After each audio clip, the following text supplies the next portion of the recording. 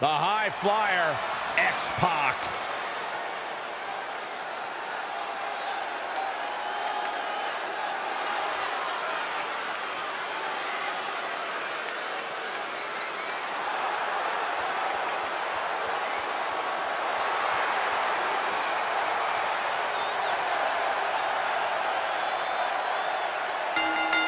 The following contest is scheduled for one fall.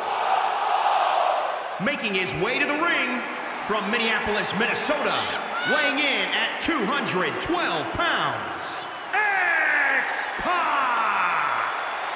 Quite a career for this guy. He's been a tag team champion, a European champion, light heavyweight champion, and a cruiserweight champion. Whether it's one, two, three, or six, the numbers always add up for X-Pac.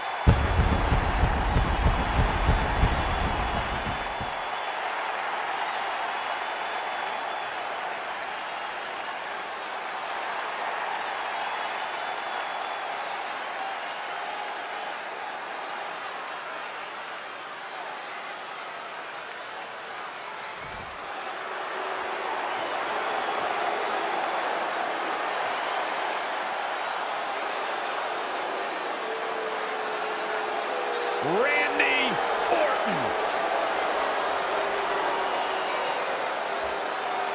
And his opponent from St. Louis, Missouri, weighing in at 250 pounds, the Viper, Randy Orton! Randy Orton began his career by being known as the Legend Killer. Randy Orton is now simply a legend.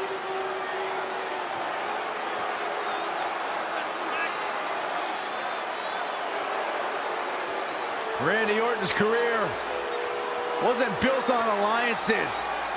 The most important thing to Randy Orton has been winning championships.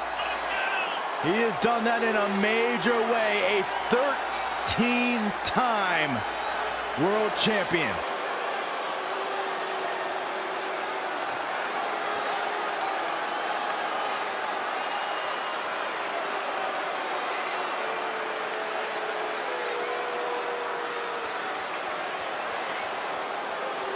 As slick as they come. As smooth as anyone in the business.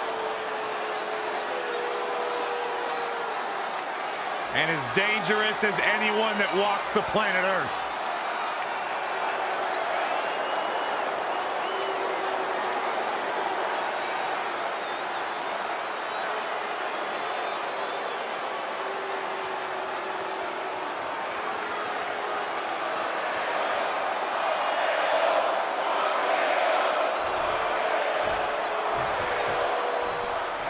One of the most decorated champions in WWE history, Randy Orton, looking to add to his legendary status tonight.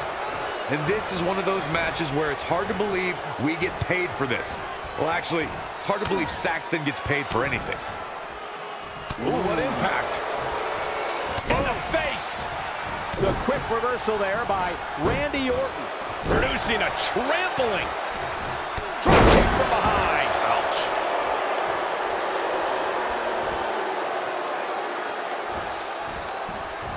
Clothesline over the top. Man.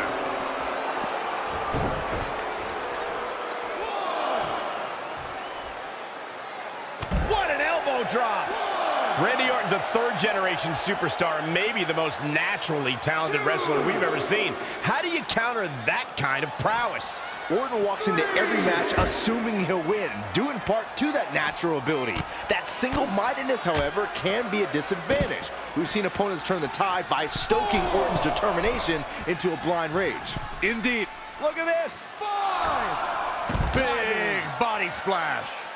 Looks like Randy Orton has broken a sweat. It's nothing he hasn't been through before. His offense is on point right now. This is what he feeds off of.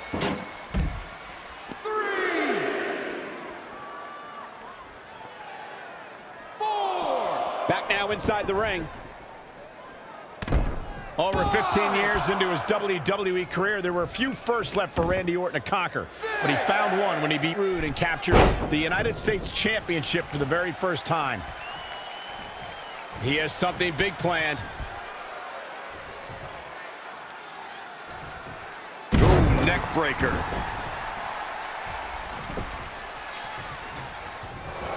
Michael mentioned Randy Orton's United States title win, and true to Orton form, it came out of nowhere. After a quickly intensifying rivalry, the Viper beat the Glorious One at Fastlane for the one title he had yet to claim. In the process, Orton became only the 10th person in WWE history to become a Grand Slam champion. Another apex for the Apex Predator. Look at this. Oh, man.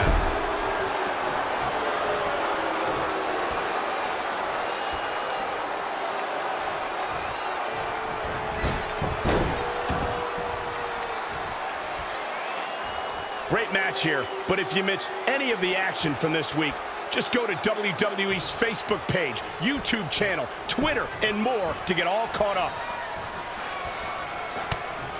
Hard right hands. Punch after punch after punch. Look out here. He's got something cooking. Oh, look out. Jumping, leaping attack.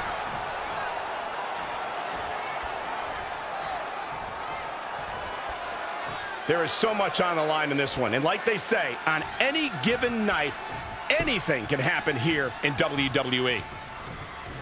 Bang, right in the face. Ah, backdrop suplex. What is keeping Randy Orton in this match? Barely hanging in there. He's totally out of it. Nobody's home upstairs. Randy Orton is slipping, but he still might have an RKO in his back. X-Pac. He's one. X-Pac. X-Factor. It's all over but the counting. Does Orton even know where he is? This singles contest has a victor.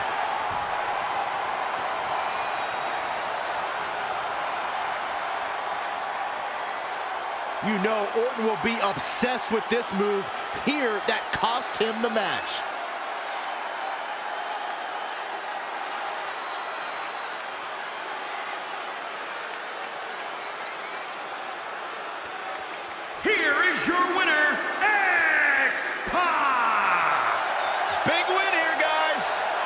The Apex Predator fell prey to a better opponent tonight. I can't believe it happened. Matches like that are the reason why I love this job so much.